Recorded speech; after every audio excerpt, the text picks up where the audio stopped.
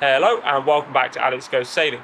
In this episode we're going to be installing all of this fancy Raymarine gear and a big thanks to Raymarine for giving me a discount on this stuff as it's really going to help my adventures coming up this season. Now I'm going to show you how all this stuff works, how it all networks together and how to install it on your boat if you're going to install this kind of stuff. So uh, let's get it unpacked and here we go. Look at all this stuff. All unpacked. I've networked everything together as you can see and uh, I'm going to give you the rundown on what's actually going on.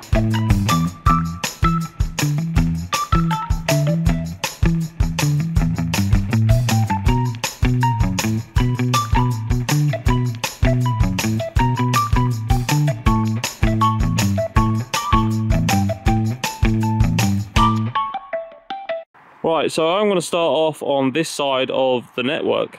Right, so starting on this side, first off we have the wind vane. This wind vane runs into this little box over here, and this is an ITC-5.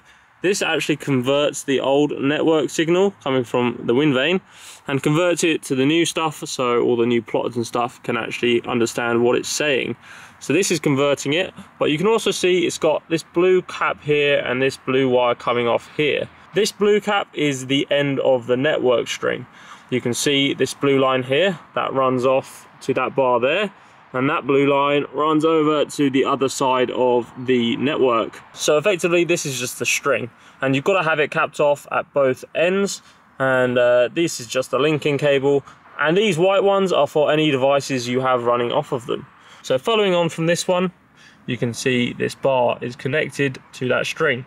So each one of these legs coming off here is for a device, apart from this middle one. This middle one, running down here, is power to the network. So this power will be hooked directly up to the battery via switches and fuses. So this actually powers the network.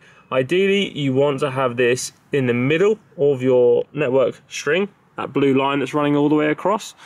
Um, for smaller networks, it doesn't matter too much, but you really should try and keep it to the middle um, each device has its len value and you can calculate how many len each device has and how much it's using and then you can work out where the middle is. Some devices use more power than others so it's important to try and get it in the middle if you can. Now following this white wire around this runs into my chart plotter. This is the Axiom 9 inch. Let's take this cover off so we can have a, a little look. Would you look at that? Hello. And this plotter is going to show me all of my charts, bits and bobs, speed, depth, all of that stuff, run it like a typical chart plotter.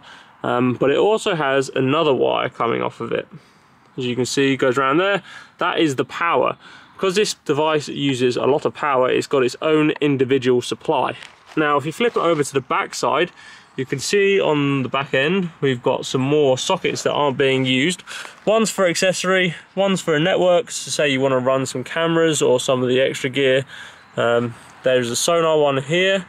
Uh, but this one is your power it's like a reverting plug. I've also gone for this 90 degree connector um, because standard they come straight out into a wire but the way I want to fit it I want to keep it as low profile as possible. So I picked up one of these 90s and that will save me some room behind the plotter. Now following this little white wire around, it goes to this I-70 display. And this basically shows any data you want like wind, depth, speed, those kind of things on your screen.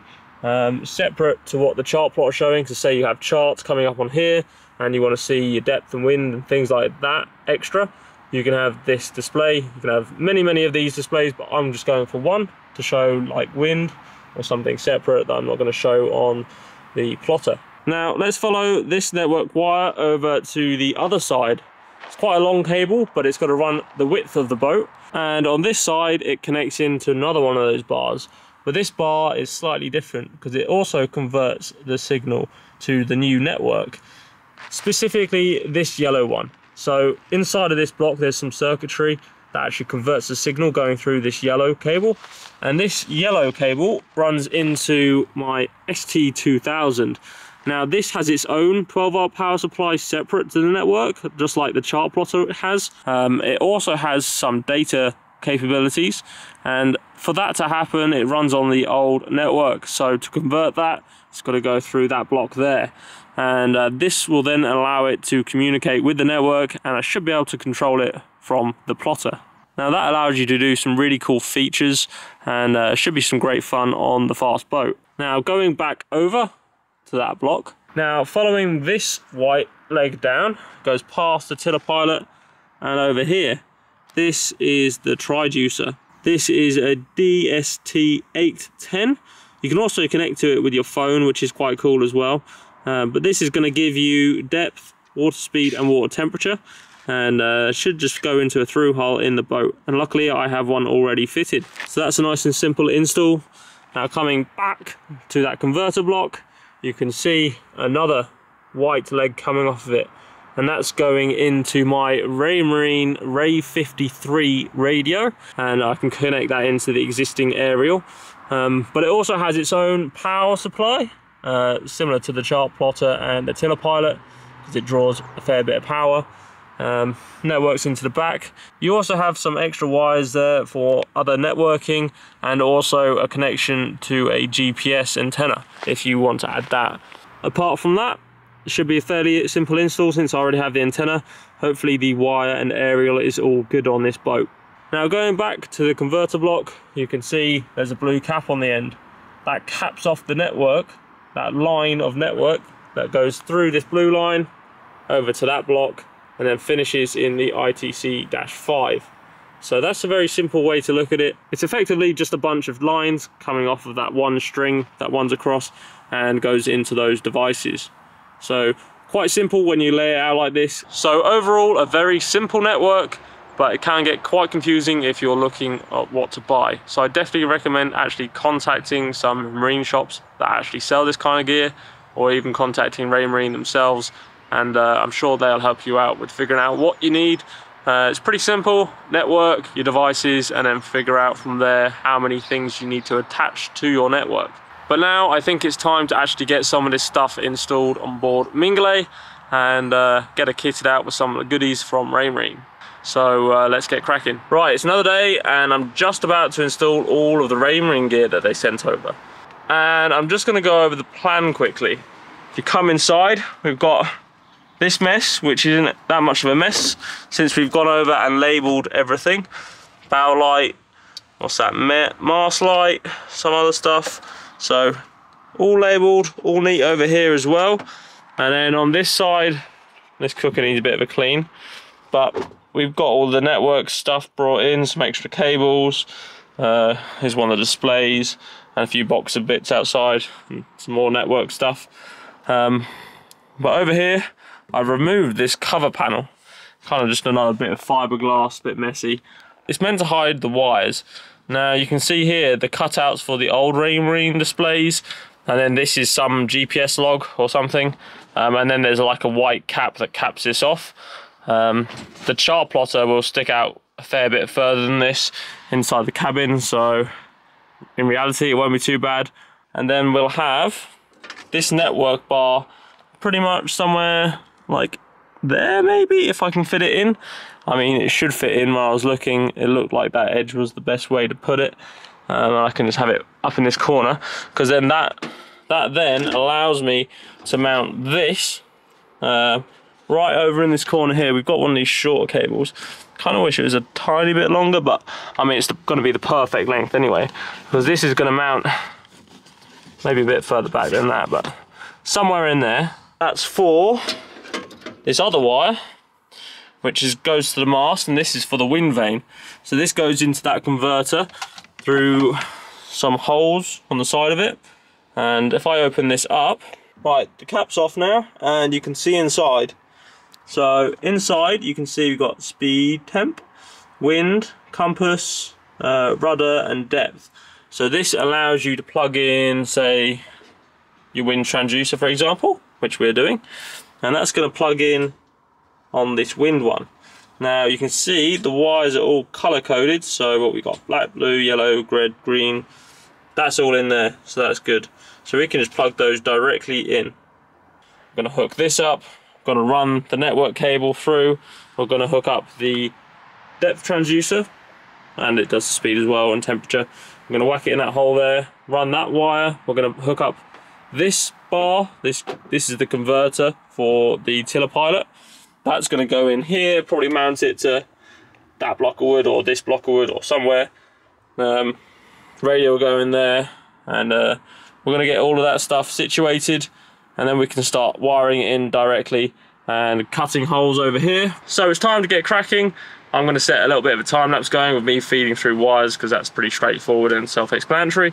And then we're going to hook up some of the bits and bobs and get into it. Right,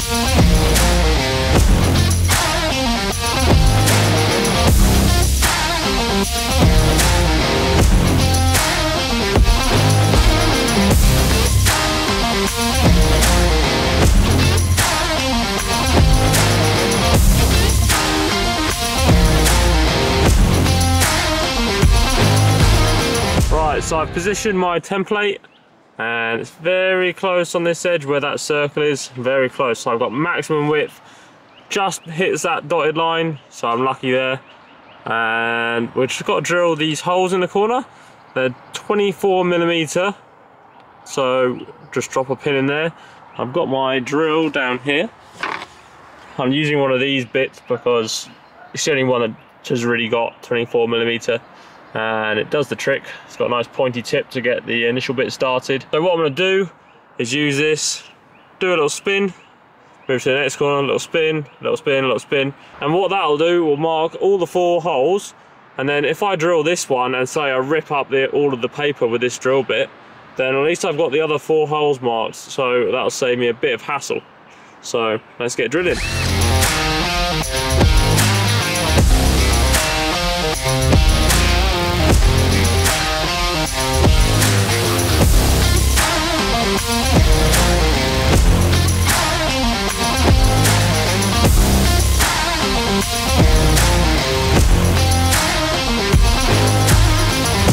Right, so this fits now.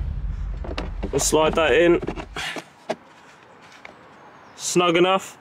And then we can put the brackets on the other side. So let's jump around there. In that nicely labeled packet, we've got the panel gasket. So they give you the middle bit, which is quite nice because you can probably use that for some other things. Now you also get this little envelope full of all the fixings, which is nice. And inside there you get these threaded bars. All you've got to do is thread them on without cross-threading them and then just wait till they bottom out by hand. Do them as tight as you can with your fingers and then install the other ones. So there's four of these, don't drop them. Right, now that that's in, we can actually put this in the boat. Right, so double check that your gasket's nice and clean. Make sure the surface on the outside's nice and clean. And then what you can do is feed it round. Now that it's in place, you also are given these little brackets here. Now they go one way and one way only and on the front of them it says do up finger tight only. So all you got to do is place them on. They only go this way round and then you are given these little threaded caps. All you got to do is thread it on and then do it up finger tight only. Uh, we'll get the other one on first. So that's going to hold that in place and we're going to whack on the other one. You can see finger tight only. And uh, that one just slots in. I'm going to lift it the headlining over it because I don't want that to be uh, between the two. Right that's not going anywhere. Look at that. Lovely. Right so that's all hooked up now. I've plugged in the 90 degree connector um, and that's screwed in. Does the network and the power. And uh, these are all done up nice so what I might do as well is actually once this panel's on, it'll only probably come up to like there. So what I might do is 3D print a cover, which I can use these threaded bars here to actually screw on and kind of neaten it up. Although this doesn't look too bad itself, it's just these uh, threaded bars which I probably wouldn't be too happy about just in case you get thrown about and get one of those to the head. So that's all installed now and now we can move on to the i70 hole. Right, so here's the i70, the back of it anyway. And you can see we've got a square hole. So, round peg, square hole, not good. So I'm actually going to use the multi-tool to buzz out a circle into this. And we're going to use a template that's provided by Raymarine for this. Um, we're going to get that fitted up nice. I'm going to try and align it the best I can with this big plotter and uh, make it look neat and tidy.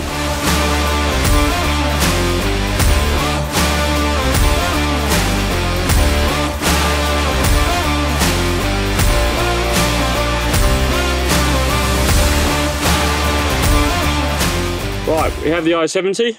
I'm just gonna spin you around. That fits in the hole perfectly, nice and snug. So what we've got to do is we've got to remove the outside frame. So it just clicks off. You just got to get a nail underneath it to pop it. It's easier from the middle as well. Don't try it in the corners. Try in the in the middle. Get all four corners, all four, get all four sides, and it just comes off. So that's just the surround. Now with the surround off, you can see in the corners the screw holes. Now before we screw this in, we've got to put the gasket on. See exactly the same situation, the back just reveals the foam side. So this is the sticky side, you can see shiny, that side's just a bit of foam. Right, so I'm gonna place that in there and then I'm gonna get it level and then I'm gonna put the screws in, but I need more than one hand. Right, I've also drilled four holes in the corners there for the, the screws. They are provided, they are these little stainless steel ones, very handy. You do have to remove the buttons off the screen, nice and easy. Um, but yeah, I used, I think, is it one mil, one and a half mil, uh, just undersized for the screw. So I'm gonna screw this in and do it up, and then that'll be fitted.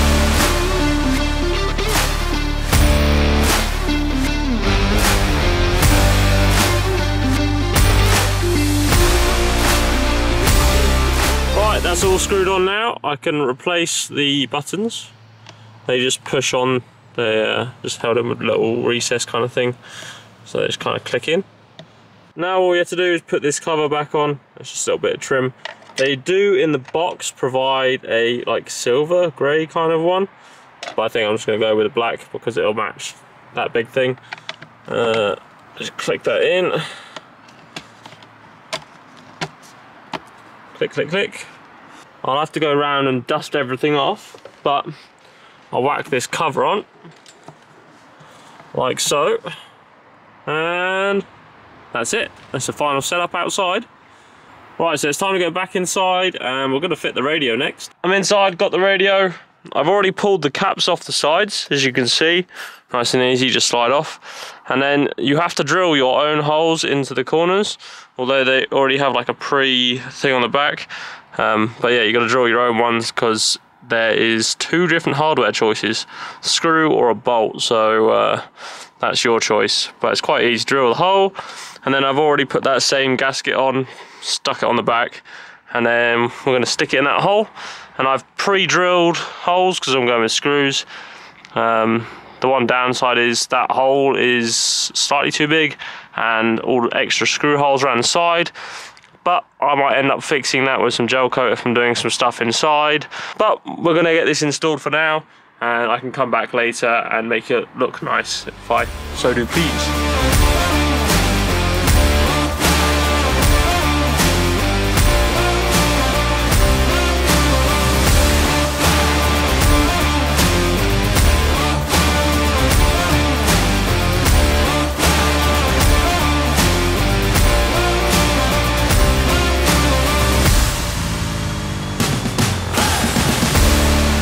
So that's the radio installed, the plotter installed, and the i70 installed. And then the ITC-5 round the corner there. We've also got that network block that won't be screwed down. It kind of be held in place, sandwiched between these two. Um, we've also got to place this network block, which is that converter that converts for the tiller pilot. That's going to be screwed on one of these. I'm going to do that now. And I'm also going to install the depth finder down there right now. Right, so this DST-810, the smart one has an app you can connect to your phone, it's got a little arrow on the top of it showing which direction you should place it because that's where the wheel spins. Um, you can also see the O-rings and stuff that are on it, make sure it has them, make sure they're clean, and uh, yeah, all we've got to do is put it down that hole. Alright, so in that goes.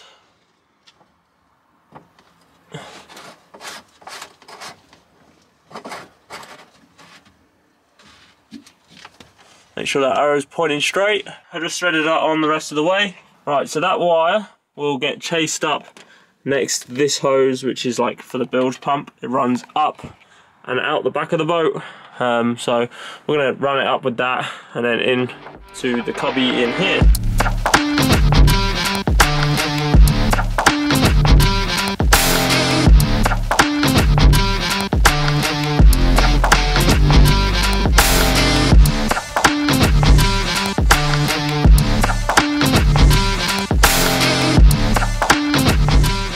So we have that block installed. We have that depth finder slash water speed sensor installed, radio installed, displays installed, ITC5 installed. The wind vane has already been installed before. So all we've got to do now is hook everything up and then sort out the 12 volt power. Alright, it's the next day and in the dark of night I uh, just trimmed up this board to fit in the plotter. Fits quite nicely actually and doesn't actually stick out too far. And I think I'll be able to use these studs to fix like a, a covering plate kind of thing. Um, I'll, what I'll do is I'll probably end up 3D printing a plate just to cover this. Um, just to hide a bit of it so people don't go unplugging or plugging things and kind of protect it from any water or fire or anything from down here. That's the only concern. Um, but yeah, looks quite smart, neat, tidy, and uh, yeah, just got to touch up some of the electrics now. Right, now that everything for the Raymarine stuff is done on the other side of the boat, we've only really got to focus here and at the mast. So here what I need to do is run the data cable from the tiller pilot plug, which is just up that little hole up there, and run it out, and that needs to connect into this wire here. Now I can either crimp on a connector to the end of that and stick it in the correct hole. Um, it's just a yellow data cable. The other two are power, I think, so we don't have to worry about that. I think it's just one wire. And then we could either strip it down and crimp it on, which might not be a bad idea because I can waterproof it properly. Um, we'll just have to see. And it'd be good to shorten up this wire because I probably won't need it this long. Although it might be good to run this up to that corner and then do the splice there. The other thing is connecting the power for the radio, uh, but that's pretty much it because we've done the power on the other side there, which hooks up the plotters and the network itself for power. So we're going to strip the wires off of this and then connect it up to the battery and see if anything turns on. Ooh, bye-bye. Right, now let's see if we have anything working. It's a bit sunny out here. Pop that off. Pop the plotter off. It's a moment of truth. Oh, there's a beep. Does this one do something? Is it a long press or is it a short press? Or is it too bright? I can't tell. Maybe a long press? Oh, there we go. Long press it was. All right, that one's working now. Right, so they are both on. Look at that. This is doing some Android something or other. Probably what it runs on. Axiom. How do you even say it? Axiom? Axiom? Axiom? Axiom? Lighthouse 4. I did also do the latest updates, very easy. Let's see the network. So what we've got, we've got a depth finder, the converter and the i70. Oh, and the ITC5 converter. That just popped up. So that's good. And this display obviously. You can see the versions they're on. It'll do diagnostic sources and stuff and the one thing it's not seeing is the wind vane and that's because well it's not plugged in. I've got to go make the connection at the mast base. So apart from this loads of different settings I'm going to have to play with and set this up properly. Uh, boat details I'm going to have to put that in. How easy is this. It's a very responsive screen. Hey. there we go. Mingulay I'm to save Right, that's enough playing with these bits. I think it's time to start wiring things up inside the boat. Right, I don't know if you can see this. This is the end of the wire attached to the autopilot. And we need to get in here because I need to see which pin the yellow wire goes to. Or if there even is a yellow wire running to it. So, to do that, there's like a little uh, ring inside of this connector. Uh, there is a proper tool for it, which I don't have. Right, then you can see this little ring come off. We'll put that somewhere safe where I won't lose it. And I've already undone this little nut for a little grommet that keeps it like watertight. So oh, I'll peel it back, peel it back. Right. Oh, that's wired up quite nicely actually. So we can see the blue and the brown. That's your positive and negative. And then see that yellow wire that's the one we want. So now I'm gonna strip the wire that comes out of that converter block and we shall see what wires are in that. Get ready. Boom! Strip it back a little way. So there's red wire a yellow wire and this other.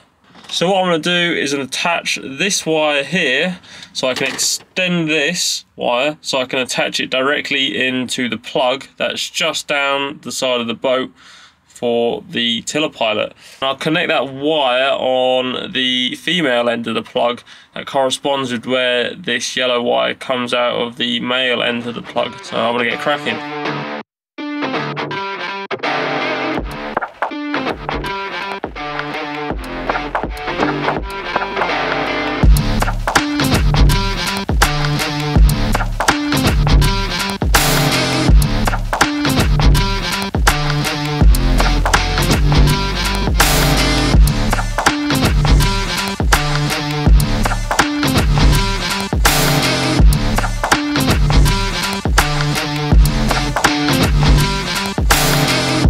So I've now connected it there.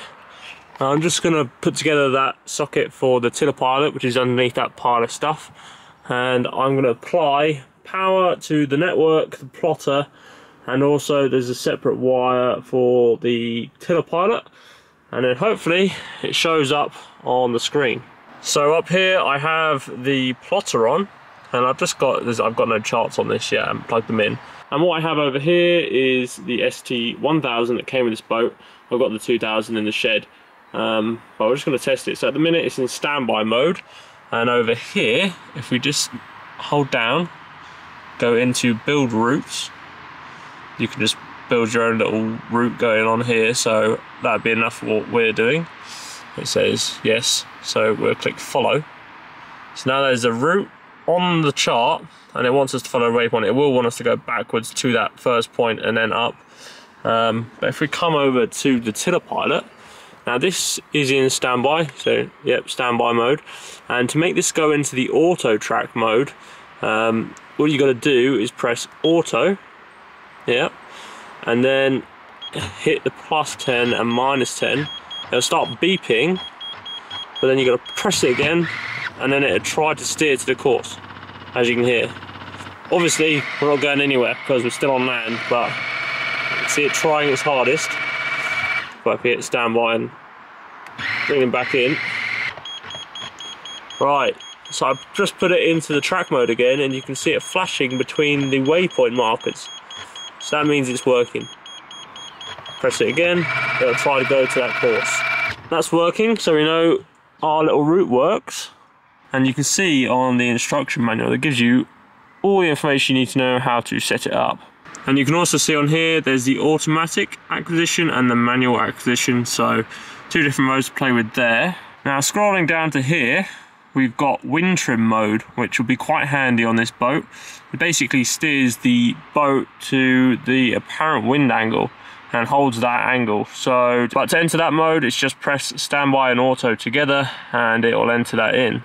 Now it's all good having all these modes and features, but it's a bit difficult when I'm on land. So I'm gonna wait till I'm on the sea with this boat and I'm gonna play with all of the features and show you how they all work. So stay tuned for that. But now that we have the plotter working and the whole Raymarine system on, the only thing left to do is hooking up the wind vane and to do that I'm gonna have to put this mast up. So you will see me next when I decide to put this mast up. Now that's it for this episode. I hope the breakdown of the Raymarine network help some of you out with your upcoming projects this winter, as I can understand how daunting it can be. Also, big thanks to Raymarine for helping me out, and thanks for watching, and I'll see you all in the next one.